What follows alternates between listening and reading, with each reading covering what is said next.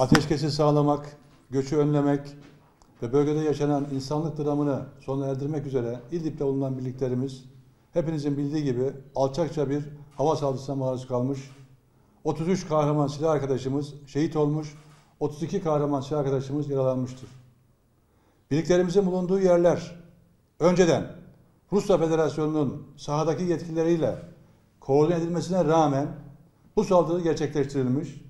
İlk atışı müteakip bir kez daha uyarı yapılmasına rağmen maalesef saldırı devam etmiştir. Bu hava saldırıları sırasında ambulanslar dahi vurulmuştur. Ayrıca bu saldırılar sırasında birliklerimin etrafında hiçbir silahlı grubunda bulunmadığını burada belirtmek isterim.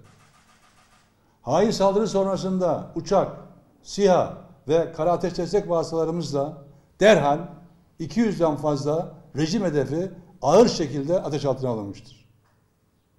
Bu atışlar sonucunda 5 helikopter, 23 tank, 10 zırhlı araç, 23 çeşitli cins ve çapta top ve obüs, 5 mühimmat kamyonu, 1 SA-17, 1 SA-22 hava savunma sistemi, 3 mühimmat deposu, 2 malzeme deposu, 1 karargah binası ve ve 309 rejim askeri etkisiz hale getirilmiştir. Atışlarımız ve faaliyetlerimiz planlandığı şekilde devam etmektedir.